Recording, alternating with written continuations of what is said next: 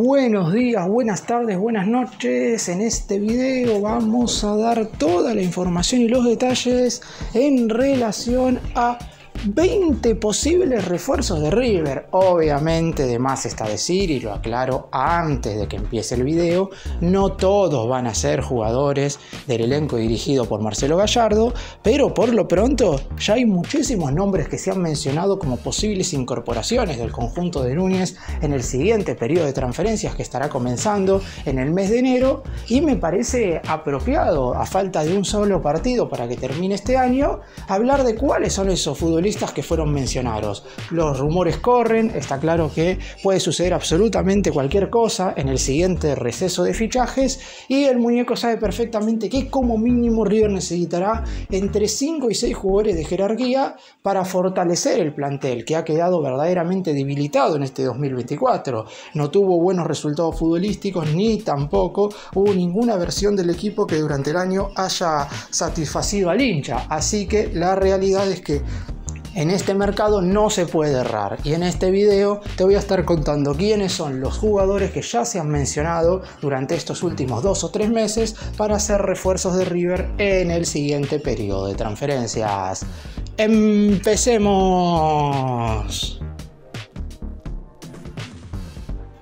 Y vamos a empezar por el nombre más importante de todos, por decirlo de alguna manera. Después es cierto que teniendo en cuenta que hay muchos futbolistas que voy a estar mencionando que están en el exterior, al hincha le puede parecer mejor otro, pero la posible vuelta, el tercer ciclo de Juan Fernando Quintero con la camiseta de River, es algo que ilusiona al simpatizante del más grande.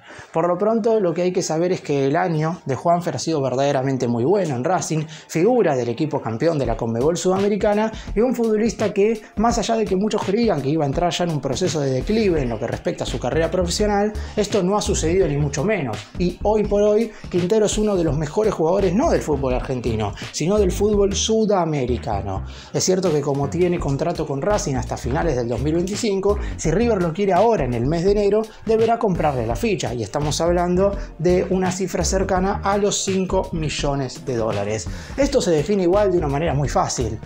Marcelo Gallardo levanta el teléfono como seguramente lo ha hecho durante todas estas semanas para hablar con el futbolista. Quintero le responde si el muñeco le dice que lo quiere en River y Quintero acepta, las negociaciones entre River y Racing comenzarán.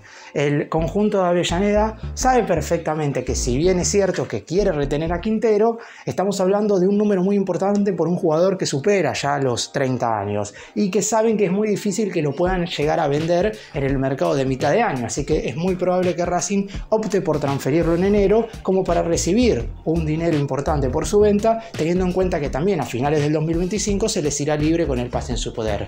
Otro rumor que corrió es que Quintero podría irse de Racing, pero como para resolver algunos problemas personales importantes que tiene, los primeros seis meses del 2025 los jugaría en algún equipo colombiano. Él mismo ha confesado en este último tiempo ser hincha fanático del DIM, es decir, del Deportivo Independiente Medellín, y que le gustaría jugar allí un tiempo otra vez, ya lo hizo en una primera etapa, por lo que River a lo mejor recién podría tener a Juanfer para mitad de año y para la segunda parte del 2025, entre lo que que se incluiría el Supermundial de Clubes de la FIFA hay que rever todas estas cuestiones y es algo que seguramente se hará durante eh, el próximo mes de enero.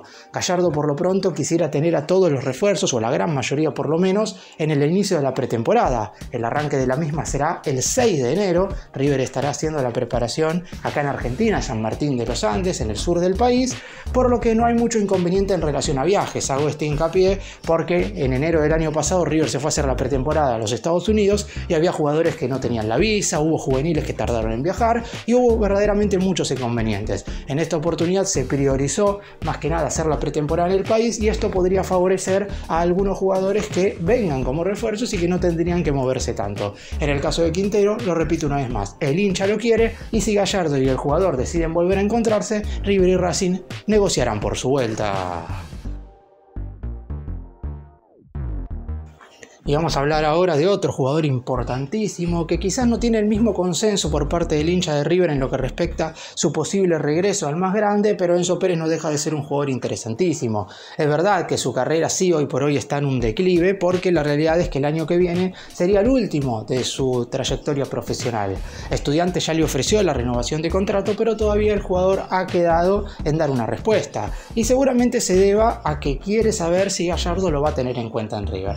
Por lo lo que se sabe es que el muñeco va a pedir como refuerzo a otro mediocampista central y seguramente más adelante en este mismo video esté mencionando a alguna de las posibles alternativas. Pero Enzo Pérez no deja de ser un jugador fantástico y ya mismo ha dicho el muñeco que cuando alguno de estos futbolistas que hicieron historia en River durante su primer ciclo quieran regresar, es muy difícil que se les cierre la puerta. Después, estos jugadores en cuestión, en este caso Enzo Pérez, tendrán que aceptar el lugar que les toque en el plantel. Es muy probable que Enzo sea suplente, aunque sería muy importante en el y eso es algo que hoy River necesita, por sobre todas las cosas por lo que sucedió durante la era de Martín de Michelis, donde hubo muchos inconvenientes en ese sentido, incluyendo la salida del propio Enzo Pérez. Como termina su contrato con estudiantes, vendría libre con el pase en su poder, por lo que lo único que hay que esperar en este momento es saber en definitiva si Gallardo lo quiere y Enzo quiere regresar. Y nos enfocamos ahora en otro jugador del fútbol argentino. Estamos hablando de un futbolista que en Huracán ha tenido un 2024 sensacional. Rodrigo Echeverría, mediocampista del Globo y de la selección chilena, es uno de los jugadores apuntados para reforzar la mitad de la cancha. En un sector del campo de juego donde River necesita futbolistas. Porque hoy por hoy no tiene en el plantel Gallardo un jugador que haga la doble función de volante, es decir, aquel que aparezca en ataque por sorpresa en el área rival para justamente molestar a los contrincantes y tener una función ofensiva importante, ni tampoco ese mismo que ayude también al mediocampista central defensivo a hacer los relevos y a dar el equilibrio necesario en el centro del terreno. Ese es un inconveniente que River ha tenido durante básicamente todo este 2024 porque no tiene jugadores de ese estilo. Quizás Rodrigo Aliendro es el único, pero Gallardo prácticamente no lo tuvo a disposición por la lesión que sufrió en el hombro. Echeverría es un jugador importantísimo, en el globo ha dado muestras de que ha tenido un nivel importante, lo tienen cotizado en alrededor de 5 millones de dólares, por lo que si River pone ese dinero podría quedarse con el jugador. Hay que tener en cuenta, claro está, que ocupa cupo de extranjero. Y Valentín Gómez obviamente es un futbolista que, no voy a decir que el hincha de River lo quiere, pero teniendo en cuenta lo que sucedió en el último mercado, donde su transferencia se cayó porque no pasó la revisión médica en Italia, en este momento yo creo que el simpatizante del más grande tiene intenciones de volver a contar con el futbolista. Es verdad que en ese entonces fue un pedido de Martín de Michelis y no sabemos si a la hora de reforzar la saga central, Gallardo está pensando en este mismo jugador, con un año, no voy a decir perfecto, pero muy, muy bueno en Vélez, y el ser un central zurdo lo ponen como una de las principales opciones en el fútbol local como para reforzar la parte defensiva del equipo de Núñez. El inconveniente tiene que ver con lo económico. La cláusula del jugador es de 10 millones de dólares, aunque Vélez estaría dispuesto a vender entre el 70 y el 80% del pase por 7 u 8 millones de la moneda estadounidense. Dependerá mucho de lo que busque el muñeco en el siguiente periodo de transferencias y también cuáles sean las otras alternativas para reforzar la saga. Está claro que River necesita al menos un jugador y inclusive podrían ser dos en ese sector del campo de juego, porque ha sido un problema a lo largo de todo este 2024. Y hablando de defensores centrales, justamente el nombre que surgió en estas últimas horas, y me refiero a estos últimos cinco días, porque este es el último futbolista que apareció en el radar de River, Kevin Lo Mónaco, de unos muy buenos últimos 15 partidos aproximadamente Independiente. De hecho, es el jugador que tiene más duelos defensivos ganados en promedio de todo el fútbol argentino, y la realidad es que su rendimiento en el rojo ha sido muy pero muy bueno. Es un futbolista que reúne en general las características de un buen defensor central, aunque hay algunas cuestiones que hay que analizar. Por lo pronto el pase del jugador no pertenece a Independiente, sino que es del Bragantino de Brasil y a su vez el rojo tiene una opción de compra para adquirirlo de manera definitiva por 2 millones y medio de dólares. Sin embargo, el elenco de Avellaneda no podría hacer uso de esa opción. Y más allá de que quieren negociar con el Bragantino para comprarlo, River podría meterse en el medio. Y en ese caso, si el más grande logra poner un dinero un poquito mayor a este que tendría que abonar Independiente, me parece que el equipo de Núñez podría quedarse con el jugador. Gallardo sabe que necesita un central de jerarquía, pero que no va a poder gastar 20 o 25 millones de dólares en defensores centrales. Así que comprar a uno que sea muy bueno, que esté en el fútbol local, pero que no sea tan exigente económicamente, sería una opción muy viable. Y que Bello Mónaco obviamente aparece como una alternativa más que potable. Y nos vamos ahora para el fútbol del exterior, para empezar a hablar de futbolistas quizás un poco más valorados, inclusive de los más caros que podría ir a buscar River. Comenzamos con Ángel Correa, que es el delantero por excelencia que quiere Marcelo Gallardo. El jugador en cuestión es suplente del Atlético Madrid y más allá de que sea un futbolista alternativo, no deja de ser un jugador que está cotizado en alrededor de 18 millones de euros. De hecho, por esa misma cifra, el equipo español rechazó un ofrecimiento del Besiktas de Turquía a mitad de año por una cuestión que tenía que ver con la forma de pago. Acá lo único que puede inclinar una hipotética llegada del atacante a River es el propio futbolista. Simeone lo quiere en la plantilla. Ahora, hay que tener en cuenta que, como dije recién, es suplente y difícilmente pueda ganarse la titularidad con jugadores como Julián Álvarez y Antoine Grisman en la dupla ofensiva del equipo. Si bien es cierto que el Atlético tiene que disputar lo que resta de la Champions League y también las competiciones locales, si River ofrece un dinero muy grande, como dije recién, alrededor de 18 millones de euros, y el jugador quiere ponerse el manto sagrado luego de una charla con Gallardo, me parece que la negociación podría llevarse a cabo. Y hay que hablar ahora del otro Correa, que no es hermano de Ángel, pero tiene el mismo apellido. Joaquín Correa, actual jugador del Inter de Milán, que ya había sido buscado por River, pero cuando Martín de Michelis era el DT, aunque en ese entonces, como estaba préstamo en el Olympique de Marsella de Francia, River tenía que romper la sesión en primera instancia con el conjunto galo y posteriormente el futbolista tenía que llegar a River producto de comprárselo al Inter de Milán. Acá hay un par de cuestiones positivas. Lo primero es que Correa tampoco juega tanto porque suplente en el Inter. Es cierto que ahora estamos hablando de comprarle un jugador a un rival en el próximo Supermundial de Clubes de la FIFA, porque el Inter salió en el sorteo como el tercer equipo al que enfrentará River en ese certamen. Pero me parece que si las negociaciones se llevan a cabo ahora en enero, no estarían pensando en eso. Correa necesita jugar y River necesita un delantero. A Gallardo le gusta y como hay buena relación entre ambas dirigencias, porque en su momento cuando negociaron el traspaso de Facundo Colidio se hizo todo de manera muy rápida y sencilla, me parece que si River pone alrededor de 10 millones de euros, estamos hablando igual de un número importante, también se podría hacer el traspaso.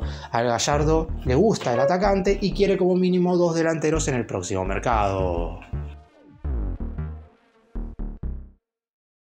El siguiente jugador también es argentino y es un futbolista que en su momento hubiera entusiasmado mucho al hincha de River. Sin embargo, ahora la verdad es que poco entusiasma e ilusiona la posible llegada de Nicolás Otamendi. Lo primero que hay que decir es que Otamendi ya confirmó que en enero no va a ser refuerzo de River, que va a terminar su contrato con el Benfica. Lo pongo en la lista porque sí hay chances de que juegue el Mundial de Clubes con el más grande. ¿Por qué digo esto? Porque su vínculo con el equipo portugués finaliza el 30 de junio del año que viene y lo que también se sabe por medio de su representante es que ya no va a haber más renovaciones con el elenco europeo, que automáticamente una vez acabe su contrato el jugador quedará libre. Después veremos qué es lo que decide hacer la FIFA justamente con aquellos futbolistas cuyos contratos terminan en el medio del Mundial de Clubes. Si antes pueden irse libres con el pase en su poder a otros equipos y de esa manera podría tranquilamente Otamendi ser refuerzo de River. Más allá de que hoy el hincha no tiene tanto entusiasmo porque sea justamente una incorporación, a Gallardo tampoco le importa eso. Si le gusta Otamendi, el jugador quiere volver y las posibilidades económicas están dadas para que eso suceda, a mitad del 2025 Otamendi va a ser refuerzo en la saga central del equipo de Núñez. Y vamos ahora a hablar de un jugador extranjero que al hincha de River sí lo ilusiona mucho. No quizás por su presente, porque una de las razones por las cuales Miguel Guido Almirón puede ser refuerzo de River es justamente porque en el Newcastle de Inglaterra está jugando muchísimo menos. Después de una temporada anterior donde fue parte de un equipo que peleó la Premier League, no el campeonato, pero sí en los primeros lugares, y que también jugó la fase de grupos de la Champions, en esta 2024-2025 el arranque de temporada para el jugador paraguayo ha sido verdaderamente pobre en el sentido de la cantidad de encuentros que ha disputado. Ya no es considerado un jugador importante e inclusive en muchas ocasiones se queda en el banco de suplentes sin ingresar. Y hoy por hoy, lo que tiene en la mente el futbolista, teniendo en cuenta que Paraguay remontó en las eliminatorias y tiene muchas chances de jugar la Copa del Mundo del 2026, lo que quiere Almirón es tener continuidad. Y obviamente en River podría conseguirla. Gallardo también quiere un atacante por el costado izquierdo porque más allá del Piti Martínez, después no tiene otro jugador con esas características y Almirón puede moverse en el sector ofensivo por los dos costados y además también como volante interno. Un jugador muy importante, hay que comprárselo a Newcastle por alrededor de 10 millones de euros, también podría llegar a salir. Y ahora vamos a hablar de un futbolista que a mitad de año todo surgió como un rumor en lo que respecta a la posibilidad de que James Rodríguez pudiera ser refuerzo de River e inclusive se habló de que Gallardo se había comunicado con él y algunos medios lo ponían como incorporación para el más grande, sin embargo todo terminó quedando en la nada por la propia decisión del colombiano. Luego de haber sido el mejor jugador y el máximo asistidor de la Copa América de Estados Unidos 2024, ya tenía en la cabeza estar en el fútbol europeo y por eso terminó firmando contrato con el Rayo Vallecano. Después es cierto que el futbolística y deportivamente hablando las cosas no le salieron en el sentido de que no juega en un equipo que no es de los más importantes de España, no juega competiciones internacionales y en general está sentado en el banco de suplentes. Ha sido titular en algún partido del Copa del Rey, pero verdaderamente poco relevante. Y teniendo en cuenta que Colombia tiene muchas chances de jugar el próximo Mundial, uno piensa, ¿y no le conviene a James volver a estar en un equipo competitivo? Es cierto que su contrato con el Rayo termina el 30 de junio del año que viene, pero no sería tan complicado sacarlo, teniendo en cuenta que el entrenador del equipo en cuestión no lo quiere y el conjunto de España solamente le está pagando el contrato, que es muy importante, pero al no poner dinero en una transferencia, River podría con un resarcimiento económico, siempre y cuando James quiera, hacerse con los servicios del colombiano.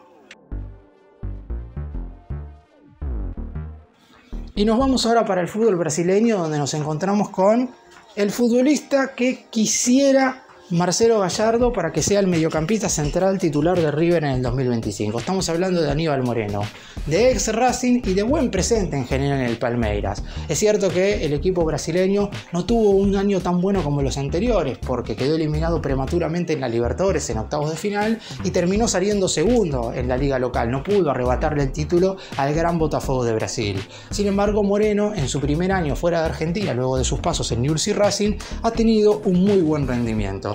En su momento el Palmeiras le pagó a la academia 8 millones y medio de dólares para hacerse con los servicios del jugador en cuestión. Y se está hablando de que River debería poner entre 10 y 12 para quedárselo. Gallardo sabe que en esta posición necesita un futbolista de jerarquía más allá de si vuelve o no Enzo Pérez. Como dije antes, Enzo podría regresar por todo lo que significa, pero por lo pronto el muñeco tendría pensado otras cosas para el volante central titular de River. Y Aníbal Moreno cumpliría absolutamente con todos los requisitos. Aún así no será fácil negociar con Palmeiras y a su vez también hay que ver cuál es el deseo del jugador. Y hay que ver también cuál termina siendo el deseo de Rodrigo Garro en el mes de enero. Es un jugador que se sabe que es hincha de River, que el millonario fue a buscar a mitad de año, que llegó a ofrecer 8 millones de dólares, pero que el Corinthians en Brasil, dueño de su ficha, pedía alrededor de 12 para dejarlo salir. Uno creía que en el mes de julio, si el propio futbolista ejercía algo de presión como para que se hiciera el traspaso, este podía llegar a llevarse a cabo. ¿Qué es lo que sucedió?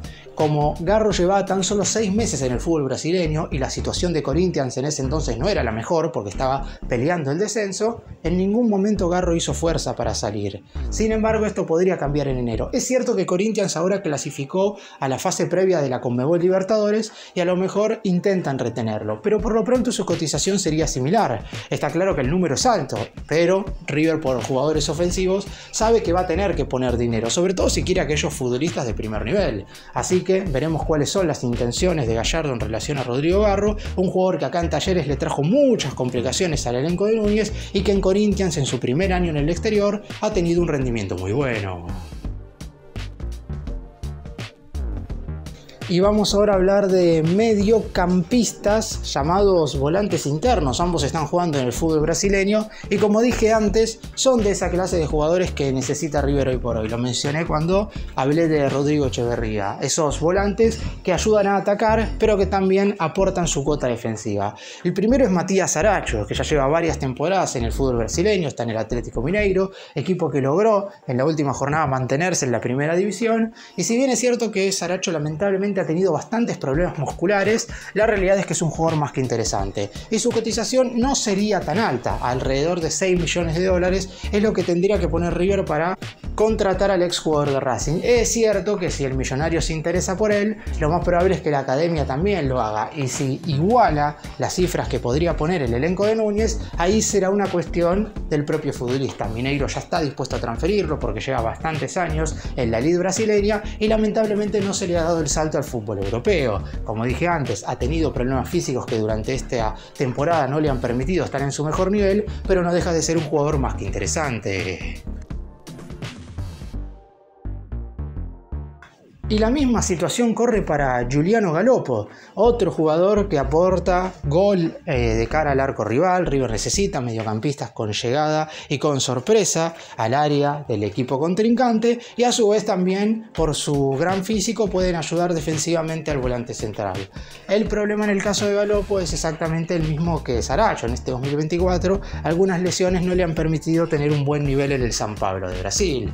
¿Qué es lo positivo en relación a Galopo? Que el elenco brasileño quiere contar con Enzo Díaz en el próximo mercado. Y si bien es cierto que Galopo está mejor cotizado, lo que podría suceder, y esto lo mencioné en un video donde hablé de posibles trueques que podría hacer River en el siguiente mercado, el más grande podría darle al San Pablo el 100% de Enzo Díaz y el equipo brasileño podría darle no el 100% de la ficha de Galopo, pero sí entre el 50 y el 60% de los derechos económicos y también obviamente los derechos federativos. De esa manera, River dejaría salir al lateral izquierdo y contaría con un futbolista que Gallardo podría requerir para armar su mitad de cancha ideal.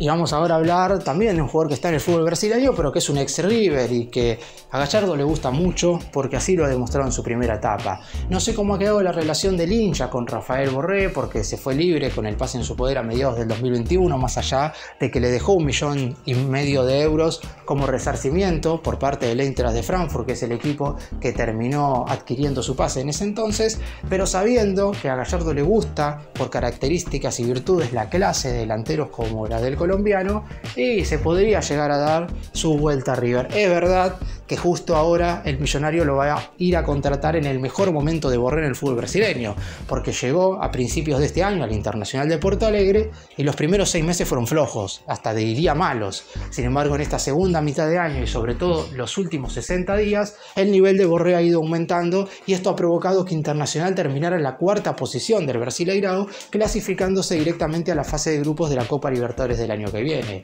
Su cotización está en alrededor de entre 5 y 6 millones de dólares o un jugador que interesa, veremos si tiene una segunda etapa en el más grande. Y siguiendo con exjugadores de River, vamos a hablar de un futbolista que era impensado que pudiera aparecer en una lista de posibles refuerzos en el siguiente mercado, teniendo en cuenta lo que sucedió con él en el periodo de transferencias de mitad de año, pero teniendo en cuenta que su situación actual, futbolísticamente hablando, no es la mejor, hay alguna chance de que Guido Rodríguez pueda volver a River. Un jugador que cuando terminó el contrato con el Betis el 30 de junio pasado, uno se imaginaba que su carrera iba a empezar a entrar en un declive. Sin embargo, terminó firmando vínculo con el West Ham de Inglaterra, un equipo que si bien es cierto no disputa competiciones internacionales, no deja de jugar en la liga más competitiva del mundo. Sin embargo, Guido Rodríguez ha jugado poco y nada. Empezó siendo titular, pero después fue suplente y al ser un número 5, no es que ingresa en todos los segundos tiempos para ayudar al equipo. Normalmente se queda sentadito en el banco sin ingresar. Si bien es verdad que River tendría que poner dinero en enero para incorporarlo, si Gallardo levanta el teléfono, teniendo en cuenta que fue quien hizo debutar a Guido Rodríguez en primera y logra convencer al jugador en cuestión, no descarto que se pueda hacer un intento por él. Caso contrario, habrá que esperar hasta mediados del año que viene.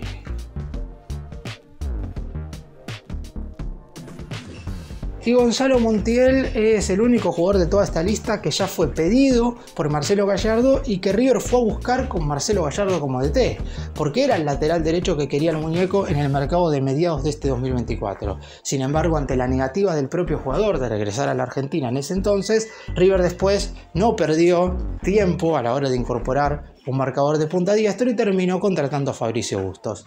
Sin embargo, la decisión de Montiel futbolísticamente hablando no fue la mejor, porque en el Sevilla es el tercer lateral derecho, solamente ha sido titular en los partidos del Copa del Rey y en los segundos seis meses de este 2024 ha jugado más en la selección argentina, que solamente hubo seis partidos, que en el Sevilla, donde ha disputado encuentros por Liga Española y por Copa del Rey el equipo europeo no tendría ningún inconveniente en que el futbolista regrese a River. Seguramente en primera instancia lo debería hacer en condición de cedido y después el más grande podría comprarle el pase.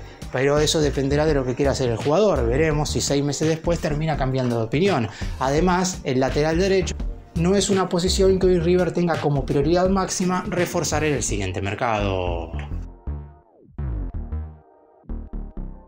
Y vamos ahora con dos jugadores que juegan en el mismo equipo. Comenzamos con Lucas Martínez Cuarta. Como dije antes, el millonario va a ir como mínimo por uno y hasta podrían llegar a ser dos defensores centrales dependiendo de la cantidad de zagueros que se vayan en el mes de enero. Ya hay algunos que se sabe que se van a ir, como los casos de Gatoni y Funes Mori, pero habrá que ver qué sucede con González Pires y Pablo Díaz. Y Martínez Cuarta claramente es un defensor central que a Gallardo le gusta. Además, fueron los propios medios italianos los que hace aproximadamente dos meses comunicaron que la Fiorentina estaría dispuesto a venderlo. La diferencia que va a haber entre Martínez Cuarta y el jugador que voy a estar mencionando adelante es que por lo pronto el elenco italiano solamente estaría dispuesto a venderlo producto a una venta y su cotización estaría en alrededor de 8 millones de euros. Veremos si River está dispuesto a poner ese monto en un central o decide ir en búsqueda de otros jugadores del mismo tiro que Martínez Cuarta. A Gallardo le gusta el hecho de que pueda jugar de primer y de segundo zaguero y que en general su rendimiento haya sido bueno. En River se fue en octubre del 2020 a la Fiorentina a cambio de 13.900.000 euros y en su primera etapa dejó una buena marca, siendo un jugador que Gallardo hizo debutar muy joven y que rápidamente se ganó su lugar en primera. Y el otro jugador que también juega en la Fiorentina que podría ser refuerzo de River es Lucas Beltrán. La situación con el atacante no es igual, porque por lo pronto no estarían dispuestos a transferirlo de manera definitiva. Lo que quisiera hacer la Fiorentina es cederlo por un tiempo como para que pueda tener más minutos. Es verdad que había comenzado prácticamente sin jugar esta temporada y en el último tiempo está teniendo más minutos dentro del terreno del juego. Pero no hay que descartar que si River hace una oferta préstamo suculenta con una opción de compra que será muy alta, de alrededor de 15 millones de euros, el jugador podría ser refuerzo. A Gallardo le encantan los futbolistas como Beltrán, son muy similares a Borré, por ejemplo, y también a Ángel Correa, por lo que en definitiva podría llegar a ser un jugador que en el sector ofensivo resuelva los problemas que hoy el más grande está teniendo, de no tener esa dupla de delanteros confirmada, sabiendo que se puede ir Borja, que se puede ir Solari, que hay que ver qué pasa con Vareiro y que solamente se mantendría en la plantilla Facundo Colivio. Veremos si River está dispuesto a abonar un gran dinero por Beltrán en un futuro, porque no creo que River quiera traer un jugador a préstamo sin tener la posibilidad de comprarlo después o como dije antes en el caso de los centrales, decide ir por otras alternativas. Y el último jugador del que vamos a hablar en este video es un futbolista que estuvo durante estos últimos 10 días aproximadamente recorriendo el Monumental porque ya se terminó la temporada en los Estados Unidos. Estamos hablando de Sebastián Drusi, jugador que hoy se desempeña en el Austin Football Club de la MLS y que si bien es cierto que tiene contrato hasta finales del año que viene, es también de esa clase de delanteros que a Gallardo le gusta mucho. Y teniendo en cuenta que se fue hace 7 años y medio de River, desde el más grande quieren intentar su vuelta. Y hay que tener en cuenta que tiene tan solo 28 años, es decir, más allá de ser un jugador que se fue hace bastante tiempo, todavía está en edad como para regresar y en un buen nivel. Es cierto que no será fácil el hecho de que tenga un segundo ciclo en este momento, porque el Austin tiene eh, la posibilidad de renovarle el contrato hasta finales del 2026 si es que el jugador así lo quiere. Así que dependerá todo exclusivamente de lo que el propio futbolista le haya comentado a Gallardo, porque teniendo en cuenta que se han hablado durante estas me imagino que habrán mencionado el tema de un posible regreso. Así que en el caso de Driussi me parece que todo está un poco más claro y ya los propios dirigentes sabrán si pueden o no renunciar por él.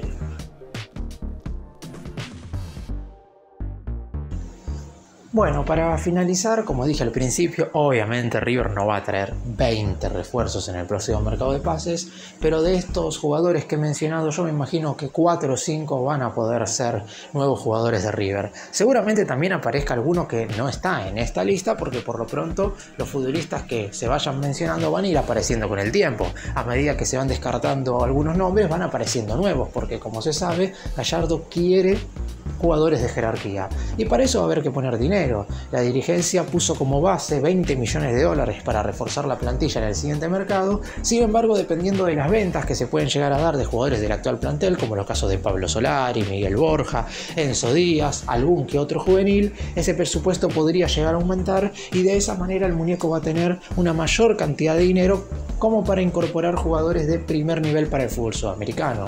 River tendrá en el año que entra, además de todos los torneos locales y la Copa Libertadores, que jugar el Super Mundial de Clubes de la FIFA. Y como ya dijo el muñeco, si bien va a ser muy complicado ganar el torneo, no quiere ir únicamente a participar, sino que querrá intentar ganarlo.